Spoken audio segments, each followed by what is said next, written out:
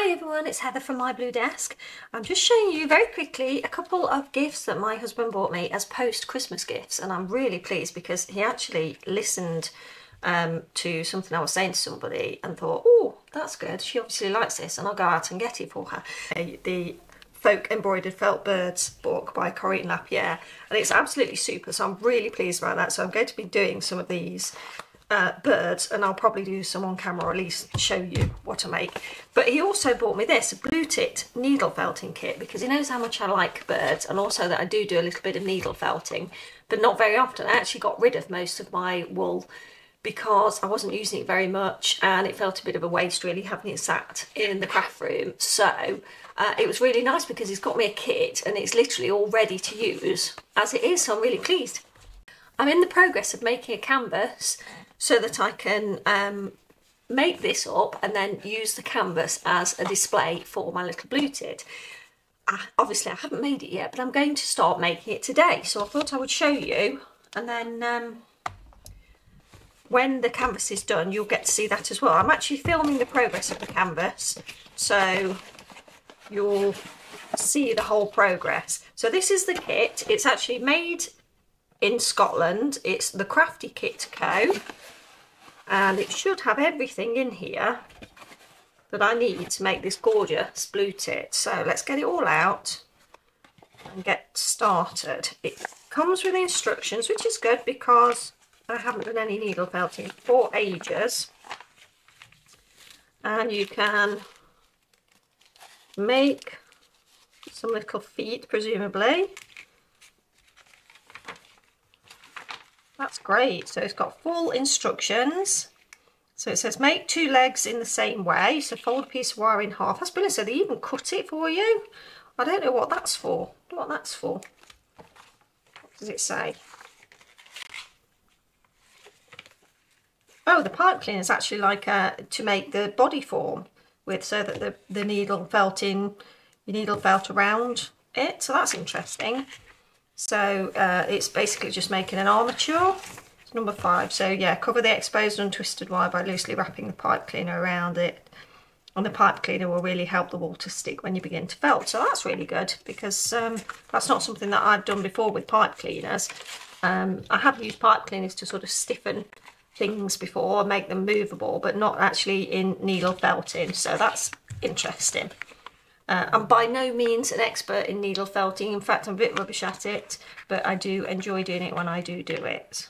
It's just, it's so time consuming that uh, I don't always get a chance to do it. So we also have this lovely little envelope here with the needles in it and also the eyes. Take care, sharp felting needles enclosed. They are sharp, aren't they? It's all needle felting needles. And I've got to do it on this lovely, like a, it's not foam, uh, what's the name of it? It's like plastic foam, isn't it? Yeah, so that's going to be great. Uh, we've got some core wool and then lots of little coloured pops of wool as well. So I'm going to start making this gorgeous blue tit and uh, see how we get along. Now I'm going to film it, but I'm not necessarily going to be chatting while I'm doing it. So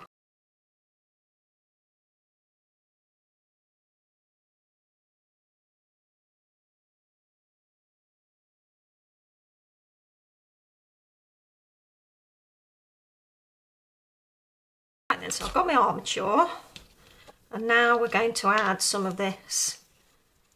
What appears to be core wool. So we're going to take some of this. What does it actually say? Cover the exposed untwist. Blah blah. Wrap small piece of white wool around the pipe cleaner to form the body of the blue tit generally gently felting it in place. Taking care to avoid hitting the wire or the pipe cleaner as the tip of the needle is very fragile. Okay, so see it already looks like a bird. There you go. Better get one of the needles out then, haven't we?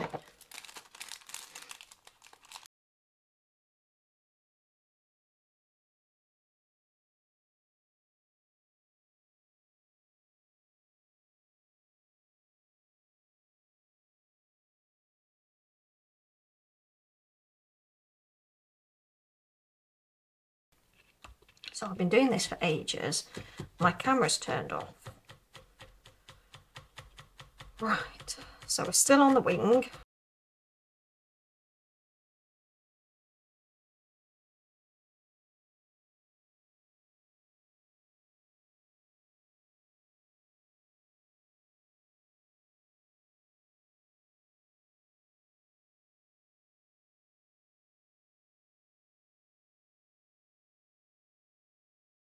Okay, so there's the bird and he's pretty much finished. Not too bad, not the best job, but it's all right. So let's have a look. We've got some eyes in here. By miracle, I actually only used one needle. I have extras. Let's get the eyes out. And we'll pop the needles back in. And now I've got those to play with another time. I also have some felt left, probably because I didn't make him as chunky as I should have done. Right, and his eyes sort of go about there, quite close to his beak. So I'm going to have to glue those in. now it looks a bit boz-eyed. There we go, one that side and one